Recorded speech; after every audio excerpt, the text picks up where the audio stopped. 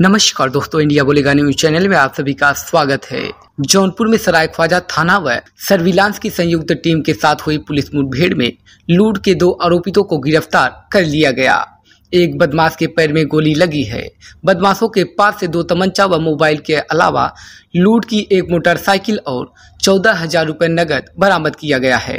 Police रविवार की रात संदिग्धों की जाँच कर रही थी। स्वाट व सर्विलांस की टीम को पतहना मोड़ पर एक मोटरसाइकिल पर दो व्यक्ति जमुहाई आनापुर की तरफ़ से आते हुए दिखाई दिए।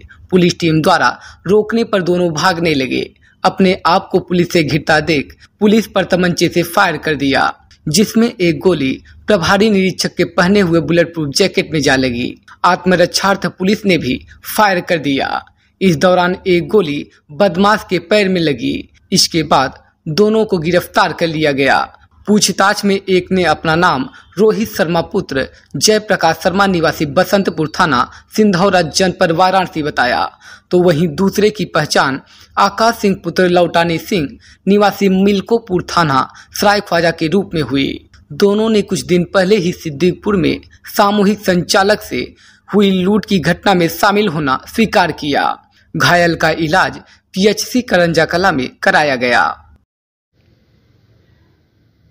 जनपद जौनपुर में थाना सराय ख्वाजा के अंतर्गत भारत फाइनेंस कंपनी से एक लूट की घटना हुई थी, जिसमें थाने पर अभियोग पंजीकृत हुआ था। इस घटनाक्रम में टीमें लगातार काम कर रही थी इसके अनावरण के लिए और कल रात्रि में हमारी जो टीमें काम कर रही थी, उनको एक महत्वपूर्ण सफलता प्राप्त हुई। और एक महत्वपूर्ण सूचना पर जब तलाशी अभियान चल रहा था, उसमें कुछ बदमाशों ने घेराबंदी करने पर पुलिस पार्टी पर फायर किया। आत्मरक्षा में पुलिस ने भी फायरिंग की, जिसमें एक बदमाश के पैर में नीचे गोली लगी है।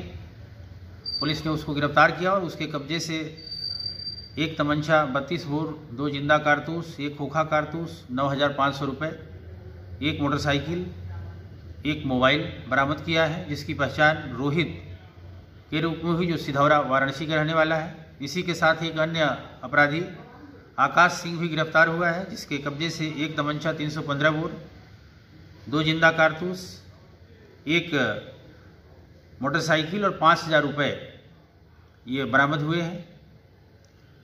और इन लोगों ने पूछताछ में ये बताया कि इनके द्वारा अपने अन्य साथियों आकाश सिंह, पंडित सोनकर, हर्ष सिंह और अजय उर्फ़ चिथरू के साथ मिलकर के इस घटना को अंजाम दिया गया था।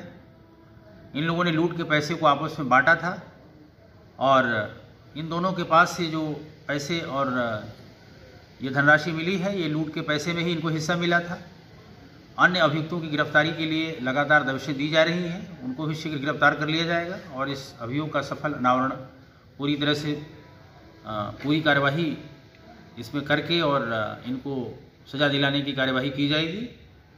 वरिष्ठ पुलिस अधीक्षक जौनपुर के नेतृत्व में यह एक बहुत ही अच्छा गुडवर्क हुआ है और एक अज्ञात लूट की घटना का सफल अनावरण हुआ है और दो अभियुक्तों की गिरफ्तारी के साथ ही उनके पास से लूट की पैसे भी बरामद हुए।